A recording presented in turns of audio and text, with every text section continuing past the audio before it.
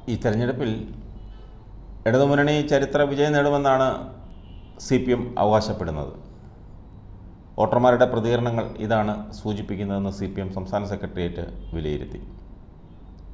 U D എഫിന്റെയും B J പിയുടെയും കള്ളപ്രചാരണങ്ങളെയും അക്രമത്തിനുള്ള ശ്രമങ്ങളെയും മദ്യവും പണവും ഒഴുക്കി തെരഞ്ഞെടുപ്പ് അട്ടിമറിക്കാനുള്ള ശ്രമങ്ങളെയും അതിജീവിച്ച് സമാധാനപൂർണമായാണ് കേരളത്തിൽ പോളിംഗ് പൂർത്തിയാക്കിയതെന്നാണ് സി പി എം പ്രസ്താവനയിൽ പറയുന്നത്.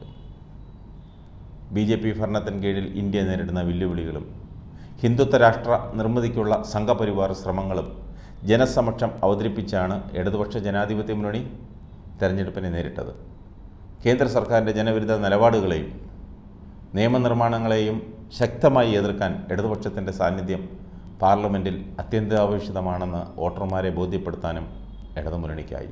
കേന്ദ്ര സർക്കാരിന്റെ ജനവിരുദ്ധ നിലപാടുകളെയും ജനജീവിതം പ്രതിസന്ധിയിലാക്കുന്ന തീരുമാനങ്ങളെയും വോട്ടർമാരെ ഒരിക്കൽ കൂടി ഓർമ്മിപ്പിക്കാനും തെരഞ്ഞെടുപ്പ് വേദിയായി. കോൺഗ്രസിന്റെ മൃദു ഹിന്ദുത്വ നിലപാടിനെ തുറന്നു കാണിക്കാനും ഇടതുപക്ഷത്തിനായി.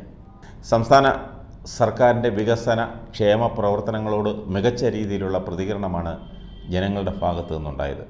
ഈ ഘടകങ്ങളെല്ലാം പോളിംഗിൽ പ്രതിഫലിക്കും. അശ്ലീലവും വ്യാജ കഥകളും പ്രചരിപ്പിച്ചാണ് യു ഡി എഫ് തെരഞ്ഞെടുപ്പിനെ നേരിട്ടത്. അവസാന നിമിഷവും കള്ളക്കഥകളെ കൂട്ടുപിടിച്ചാണ് യു ഡി എഫ് വോട്ടർമാരെ സ്വാധീനിക്കാൻ ശ്രമിച്ചത്.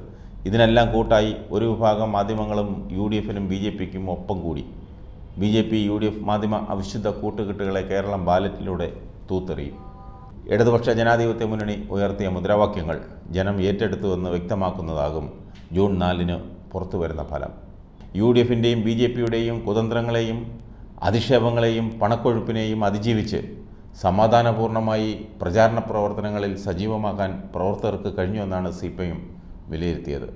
കഴിഞ്ഞ തവണ ഒരു സീറ്റിൽ ഒതുങ്ങേണ്ടി വന്ന ഇടത് മുന്നണിക്ക് ഇത്തവണ ഏറ്റവും ചുരുങ്ങിയത് അഞ്ച് സീറ്റുകൾ വരെ ലഭിച്ചേക്കാമെന്നാണ് കണക്കുകൂട്ടൽ.